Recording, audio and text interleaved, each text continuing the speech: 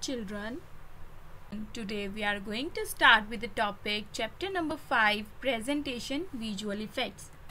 In this chapter we will learn the following topics where we will discuss introduction to PowerPoint, applying animation effects, adding transition effects, inserting sounds and video clips, using action buttons, importing data from Word and viewing presentation and slide master. Previously we have discussed the introduction to PowerPoint where we have learned the creating presentation, how to insert picture in the slide, how to run presentation and how to exit the slideshow. Today in this video we will learn the following topics from page number 46. We will learn how to apply animation effects on the slide and we will also learn the different categories of animation effects. Before going to start the chapter, let's discuss the term that we will learn from page 46. Here we will learn the first term that is animation, where animation means the moving objects on our slide. Here animation is the ability to move objects like text, images on our slide.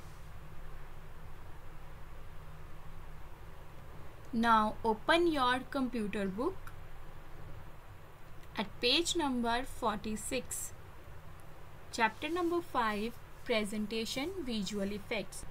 Here we are going to start with the topic applying animation effects where I have already discussed the term animation earlier.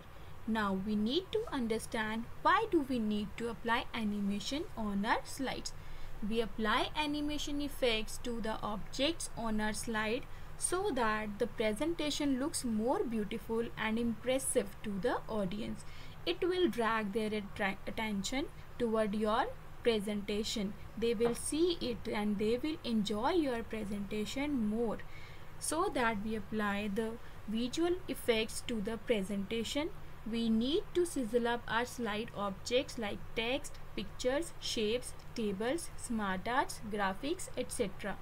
Where sizzle up means whenever we apply any animation effect, it creates a sound effect on your objects and that will drag the attention of the audience toward your presentation. That is why the applying animation effect to the presentation is important. Now let's discuss the steps to apply animation effects to the slide objects. How can we apply the slide objects animation? These are the steps. First of all, we have to open any presentation. Then we have to select the object on which we want to apply the animation. Then we have to select the animation tab and from the animation tab we have to select the add animation button under advanced animation group from the drop down list menu, we can choose any category. Here are the different categories to apply animation effects where the first category is entrance where entrance means how the object will appear on our screen or it will show up on your slide. The next is their emphasis. Emphasis means how the objects on our slide will draw attention of the audience during the slideshow. This effects makes our objects shrink, grow in size, changes color, etc. The next animation effect is their exit where it shows how the objects from our slide will exit during the slideshow like disappear, fade, fly out, etc. And the next category of the animation is motion paths where motion means moving. It shows how the objects are moving on our screen in left to right or in a circular patterns etc. Now let's discuss all these animation effects in practical. Click on start button from Start sub menu, click on Microsoft PowerPoint 2010. After clicking on Microsoft PowerPoint 2010, the PowerPoint window will appear on your screen. From here, you have to open any presentation that you have made previously or you have to make the new one. suppose I have made a presentation before that is as a save trees now we will apply few animation effects on this slide firstly we have to select the object on which we want to apply the animation effects. Firstly click on the picture on which you want to apply animation like as I have selected. Now you can see on selecting the animation tab we have to select. Under animation tab we can see the animation group. There we can see the various options of animation effects. Now you can see the drop down arrow from here where the different categories you can see of entrance emphasis exit and motion where we will see how can we use these different animation categories on the objects.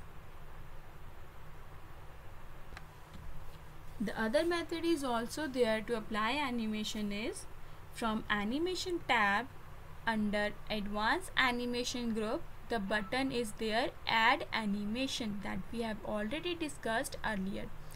After clicking on this button you can see the small drop down arrow is there after clicking on this small drop down arrow you can see all the categories of animation effects where the first category is entrance next is emphasis exit and the last is motion.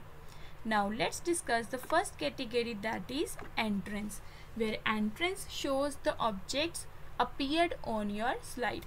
For example if I have taken the bounce you can see on your object the bouncing effect has been applied. We can see one more that is fly in you can see how the object has appeared on your slide the next effect on your object is emphasis where emphasis is used to highlight the animated effect on your objects you can see after clicking on these effects, your objects are getting highlighted. The grow and shrink, effect. The next category is exit. You can see how your objects are exiting from the slide. Let's apply any one effect that is fly out. After clicking on fly out, you can see the fly out effect has been applied on your slide let's see it in a slideshow view click on slideshow tab go to the from beginning you can see after clicking the mouse button your slide effect have been applied on your object to get the slide in the normal view press escape key let's take the another slide here I will apply the animation effect on the text. I have selected this shape where I have typed the text. Now click on animation tab. Under advanced animation group click on add animation buttons drop down arrow. From add animation drop down arrow we can see the different categories down. Here you can see the effect will be applied on your shape now the last that we are going to discuss is motion paths where you can see it will move the object as per the direction we will give to the object. Let's see how can we do that. For example i have selected turn or line. I have selected line. Now you can see this arrow on your slide. If you will change the direction of arrow to the any side on your slide you can see the object will move in the same direction. You can see its preview from the preview group on the animation tab. Click on it. You can see the preview. The one more thing we will do apply the effect on text. Go to add animation. Select the text. Go to add animation under animation tab. From add animation button click on drop down arrow and you can see the various options. From here you can apply any text effect on your text like I am applying here underline. Here you can see the animation effect has been applied on our text also. Let's see its preview again.